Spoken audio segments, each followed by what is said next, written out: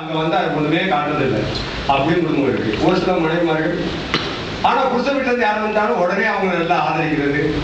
ஏன்னா அஹ் என் இருந்து வந்திருக்காங்களா சில வீடுகளில் பார்த்தீங்கன்னா மனைவி வீட்டுல வந்தாங்கன்னா வந்துட்டாங்கன்னா அப்படியே புருஷனுக்கு முகம் மாறிடும்.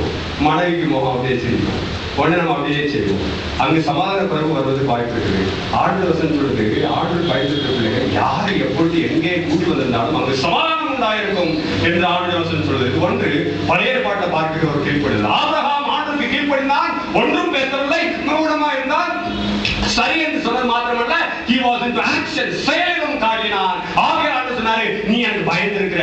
அப்படின்னு ஆண்டோட சர்டிபிகேட் சொல்லி சொல்றாரு. அப்படி பயந்திருந்தபடினால உன் வா உன்னுடைய சந்ததியை நான் வானத்தில் தவளும் நட்சத்திரங்களை போ மாற்றுவேன் என்று ஆண்டவர் நாட்களிலும் அந்த சந்ததி ஆசீர்வதிக்கப்பட்டதா இருக்கிறது ரெண்டாவது இந்த ஈசாக்கு எவ்வளவு ஆண்டுக்கு கீழ்ப்படிந்த ஒரு பையனா இருந்தா தன்னுடைய தகப்பனை நேசித்த தகப்பன் ஒழுக்கத்தில் வளர்க்கப்பட்ட ஒரு பையனா இருப்பானேயானால் மௌனமாக இந்த மேலாக அவன் அமர்ந்து கொண்டிருந்து கத்திய பார்த்துட்டும் ஆள் எழுந்து ஓடாம அமைதியா இருந்திருக்கணும்.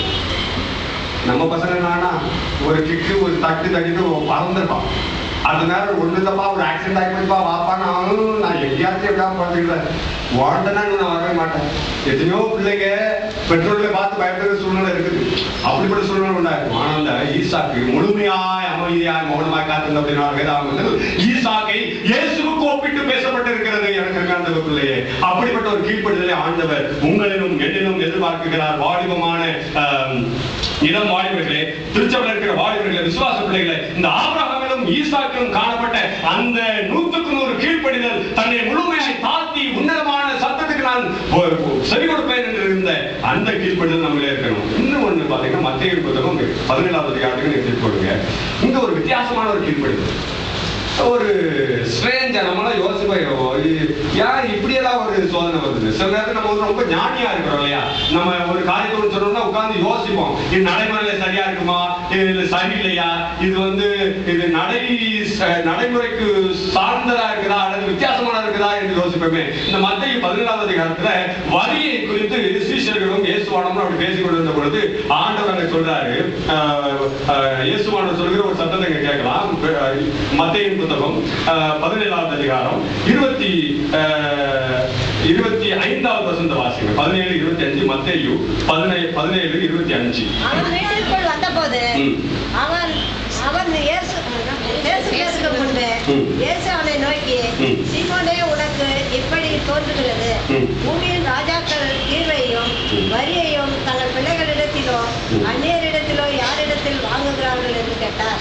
அதற்கு பேதுரு அந்நியரிடத்தில் வாங்குகிறார்கள் என்றான் இயேசு அவனை நோக்கி அப்படியானால் பிள்ளைகள் அதை செலுத்த வேண்டியதில்லையே.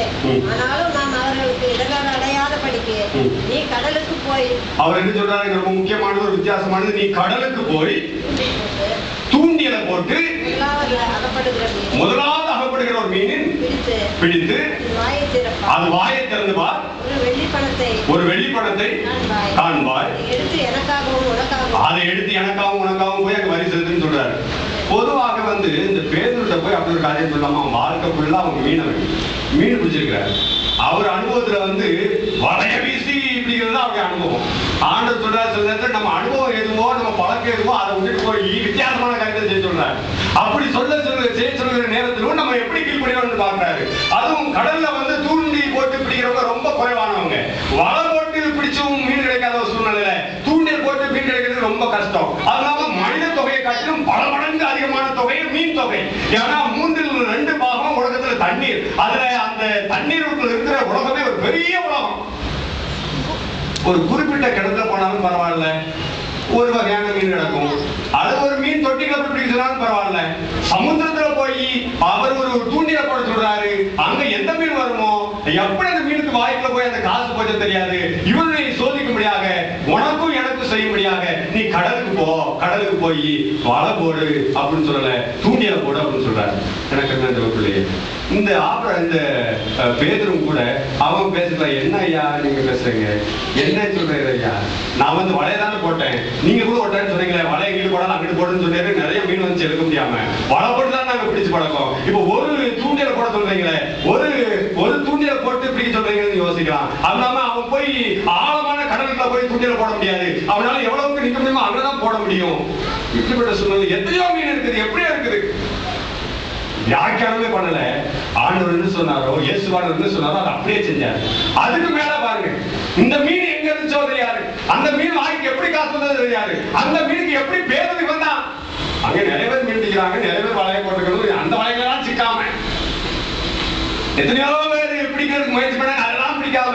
அங்க கடல்ல இருந்து துணி துண்டு மேல வந்திருக்கணும் அப்படியே எட்டி எட்டி பார்த்து பேர் எங்க இருக்கா பேர் எங்க இருக்கா பேர் எங்க இருக்கா துண்டு துண்டு அப்படியே பார்த்து பார்த்து பார்த்து பார்த்து பார்த்து இவன் தூண்டில மலர் போட்டு முதல் பிடிக்கிற மீன் நானா இருக்கணும் அது கரெக்டா பேர் எங்க இருக்கு? ஓடி வந்து பேரை பார்த்து அடுத்ததான் மாடிச்சு பாருங்க. ஆண்டவர் சொல்றதுக்கு கீழ்ப்படிந்தா இயற்கையும் நமக்கு கட்டுப்படும். ஆண்டோட வார்த்தைக்கு மாத்திரம் நம்ம கீழ்ப்படிந்தா வினோதமா வித்தியாசமா இருக்கலாம். ஆயிரம் ஆண்டு அற்புதங்கள் செய்வதற்கு வல்லவராக இருக்கிறார். அந்த நாள்ல அவர் போய் தூண்டில் போட்ட பொழுது இங்க அங்க அப்படி தெரிஞ்ச அந்த மீன் இந்த பேதுருவை நோக்கி ஓடி வந்தது. அன்று யோனாவை தூக்கி கடலை போடும் பொழுது ஆண்டவர் உத்தரவு கொடுத்தாரு. அந்த மீன் யோனா எங்க இருக்கிறானோ அங்க போன ஆண்டவர் உத்தரவு சொன்ன உடனே கரெக்டா போனா போச்சு. ஆண்டவர் அந்த யோனாவை பிடிச்சது. ஆண்டவருடைய வார்த்தையின்படி வெளியே கட்டியது. சில நேரங்களில் இயற்கை ஆண்டவருக்கு கீழ்ப்படிந்திருக்கிறது மனிதன் கீழ்ப்படியாத சூழ்நிலைக்கு நாம் தள்ளப்பட்டவர்களா இருக்கிறோம். இந்த அருமையான வ- வசனத்துல இருந்து இந்த அனுபவத்துல நீங்கள் நானும் படிக்கிற ஒரு காரியம் என்னன்னு கேட்டீங்கன்னா ஆண்டவர் சொன்னாரு இயேசுவானவர் சொன்னாரு போய் துணியில போடு. அவன் போட்டான்.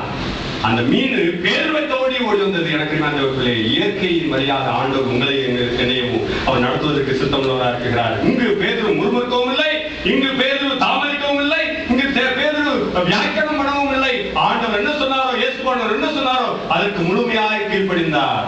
எல்லாரும் ஒரு பாட்டு பாடுவோம். கீழ்ப்படிவோம் தேவ சித்தம் செய்வோம் என்ற ஒரு பாட்டு. ட்ரஸ்ட் அண்ட் obey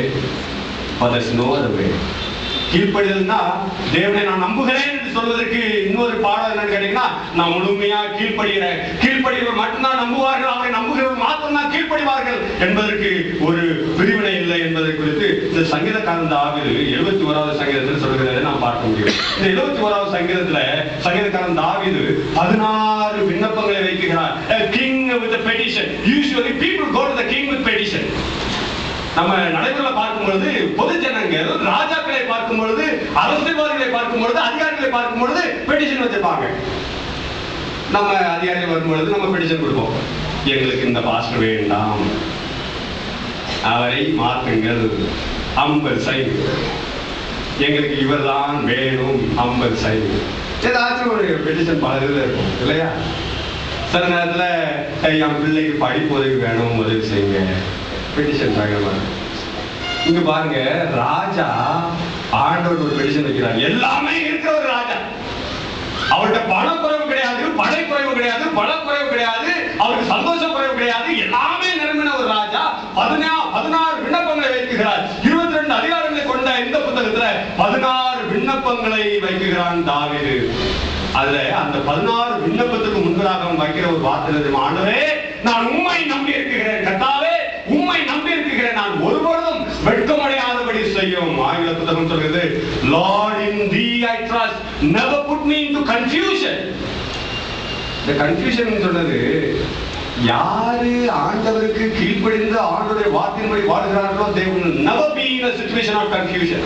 அவர்கள் குழப்பமான சூழ்நிலையில் இருக்க மாட்டார்கள். சங்கீதக்காரன் தாவிது எந்த சூழ்நிலையிலும் அவன் குழம்பினவனாய் காணப்படவில்லை. ஏனென்றால் அவன் சங்கீதத்தில் சொல்லியிருக்கிறான் ஆண்டவரே உங்களுடைய வார்த்தை என் காவிரத்து தீபமும் பாதைக்கு வெளிச்சமுமா இருக்கிறது.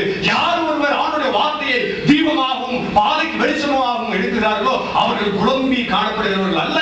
ஆகையால் தான் திருச்சபையில் நடக்குகிற ஒவ்வொரு நிகழ்ச்சியும் அழகாய் நடக்க வேண்டும். மேடல் உட்கார்ந்து நின்று யோசிக்கிறார் அடுத்த இல்லையா அடுத்த இல்லையா அப்படின்னு கேட்கிறார். நம்ம முன்னாடி வரும்போது எல்லாம் ஆயத்தமாகி வரணும் முன்னாடி வந்து எந்த பாட்டு பாடலாம் எந்த வசந்த பேசலாம் அப்படின்னு வச்சுக்கலாம் முன்னாடி வருவது முன்னாடியே ஆயத்தமாய் வரணும் ஏன்னா ஆண்டு சொல்றாரு அவர் எல்லாவற்றையும் அழகாய் செய்கிறவரும் குழம்பாமல் திகையாமல் செய்கிற ஒரு தேவனா இருக்கிறார். இங்க சங்கரகாந்த் தாவி சொல்றாரு எனக்கு வந்து பதினாறு விண்ணப்பத்தை வைக்கிற ஐயா. அந்த பதினாறு கோரிக்கையும் அந்த விண்ணப்பத்திற்கும் நான் முதல் முதல் ஒரு காரியம் சொல்றது என்னன்னு கேட்டீங்கன்னா நான் உண்மை மாத்திரம் நம்பி இருக்கிறேன். Hindi thee I have trust Lord. Never be never I should be in a position of confusion. நான் குழம்பாத அளவுக்கு நான் குழப்பம் நிறைந்த சூழ்நிலை எல்லா என்னை மாற்ற வேண்டும் என்று அவன் சொல்லுகிறான். இந்த தமிழ் புத்தகம் சொல்வது கர்த்தாவே நான் உண்மை நம்பியிருக்கிறேன் நான் ஒருபொழுதும் வெட்கம் அடையாதபடி செய்யும். வெட்கம் அடைகிற சூழ்நிலை வருகிறது. எங்கு வெற்றி இல்லையோ அந்த வெட்கம் தான். எல்லா பிள்ளைகளும்